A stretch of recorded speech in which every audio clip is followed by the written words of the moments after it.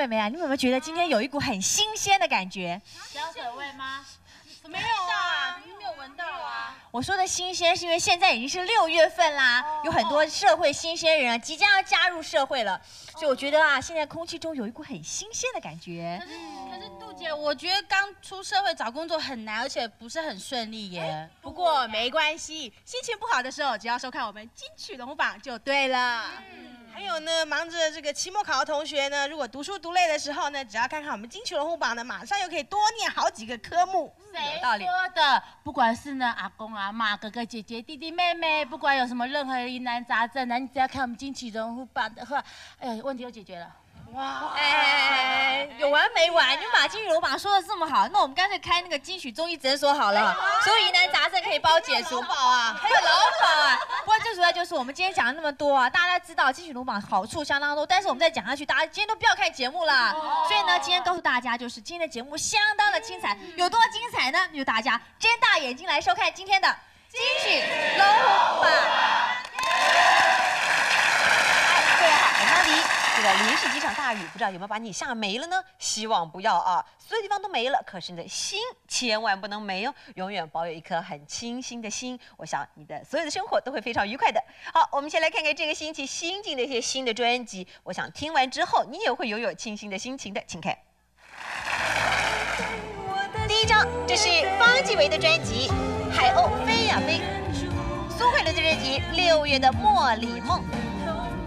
宋云的专辑《我很轻松》，金城武最新的专辑《只要我和你》，新人周伟杰出专辑《正要下班》。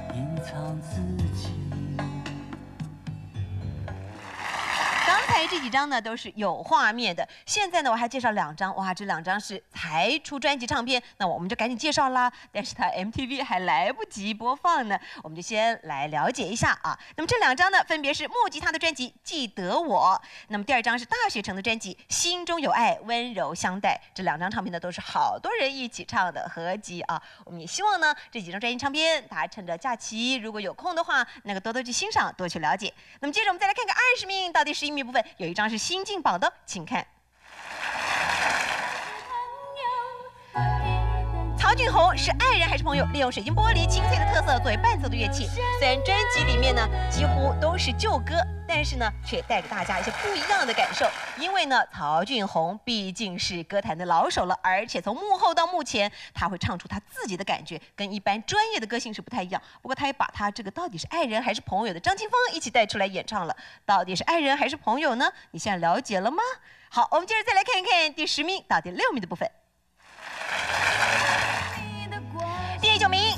亲爱关系，似乎在婚后，叶爱玲更能深入了解人与人之间亲爱关系，所以这一次她浓而不烈、隽永不浮夸的方式，给予现代人新的感觉。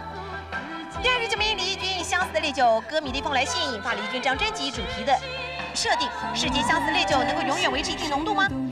第八名，邝美云《容易受伤的女人》，看似容易受伤女人，其实邝美云很容易懂得让自己如何的去不受伤。第七名，周华健的《花心》，成熟的男子心情唱出对花花世界的情与爱，令人动容。你的泪晶莹剔透，心中一定还有梦。听得很过瘾吧？这几张专辑无独有偶，几乎唱的都是比较成熟的一些感情。那么至于待会儿在第五名到第一名的部分又是怎么样的一个情况呢？这个礼拜战争好像也蛮激烈的哦。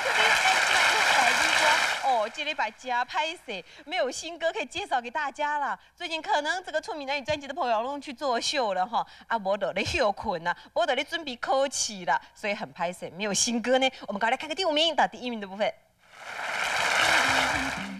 第五名，黄思婷的专辑《相差路口》，黄思婷走的也是传统闽南语歌曲的路线，有点演歌的味道。第四名，张秀清的专辑《车站》，张专辑被挤下去很久了，哇，终于又上榜了。第二下的实力实在是有够强的。没有第三名，两个第二名，再生源是罗时丰的专辑。罗时丰这一次呢，展现了他比较可爱俏皮的一面，而且他跟女歌手之间对唱，你会发现，哎，默契好像进步了一些呢。第二，是陈英杰 VS 老朋友第二集，这是老歌新唱，表现的也是陈英杰跟老朋友之间的默契。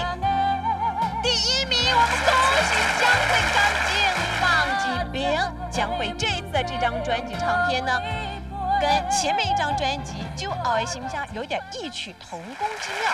怎么说呢？哎，她走的路线是那种传统女性，但是忧而不怨。心动，但是不一定会行动啊，走出以往那种很悲苦的角色。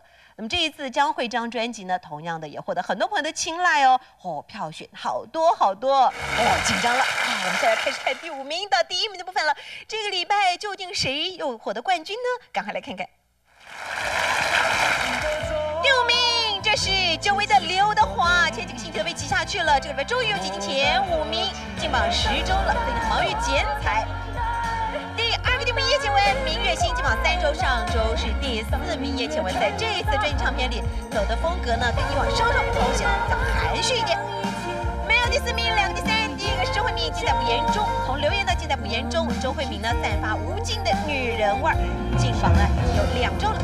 第二个第三名张学友的《吻别》寂寞九州，上周是第二名。张学友这一次这张专辑呢，走的是比较成熟的路线，你看不管是造型，亦或是歌声，都显得长大了不少呢。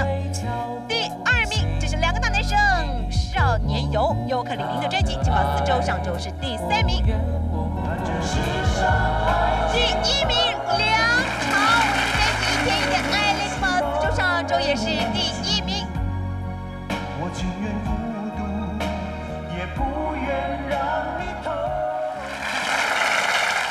这种落拓孤独的心情呢，呃，吸引了不少的歌迷投票给他，支持他，鼓励他。那么尤克里里呢，他们的专辑这一次邀请了不少都是啊、一时的名家来为他们谱曲，所以也获得不少朋友的青睐。这每一张专辑都有不同的特色，我相信呢，都是很多观众朋友你仔细的去欣赏过之后，才投下神圣的一票，对不对？